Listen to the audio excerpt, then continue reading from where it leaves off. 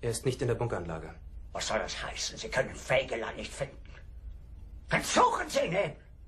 Ich will Fegelein sehen! Sofort! Wenn er sich ohne Befehl entfernt hat, ist das Fahnenflucht! Verrat! Bringen Sie mir